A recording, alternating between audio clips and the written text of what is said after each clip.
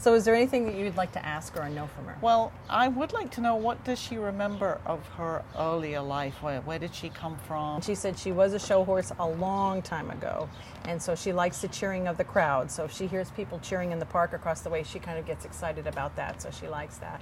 You know, people kind of came in and out of her life, and they didn't really get connected to her. And she said, "I was valuable as an animal to be ridden, but not having a relationship with somebody." And then she said, towards the end, nobody really cared for her after a while. Then Okay. she said, "I got really depressed." Okay. And like the first couple days you got her, she said she was in shell shock. Like, wow, I get this whole huge place and this and she said you were fluffing her bed like, look, it's fluffy.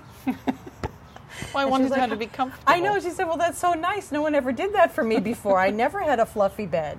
She said also she likes when people take her picture. Oh, really? You like to have your picture taken? yeah, she said somebody came up and wanted to take her picture. So she said, I posed for a minute, they took the picture and then I went back to eating. And she said, even at my age, I can gait out pretty good out there. So is she giving you a run for your money? She has a couple of times, yes. I thought that she was so old that all she'd want to do is walk.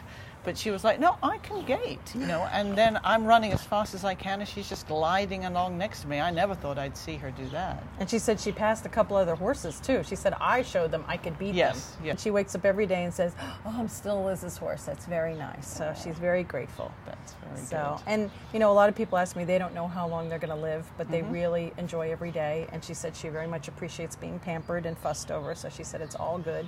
Um, she likes when you come and tell her how your day is going. She Okay. said that's really, really important. Um, and she said this is her retirement home.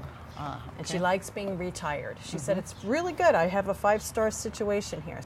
She's so soft. I know. My goodness. That's why we call soft her and Velvet. shiny. Yes, that's right. Yes, I did tell her about the watermelon. She goes, make sure she doesn't forget because. Because I, keep forgetting about the watermelon. yeah, I bought one, I keep so forgetting lovely. to bring it. It is so lovely on a hot day. It's a really a good thing. All yeah. right. We'll see what we can do, young lady. Yeah.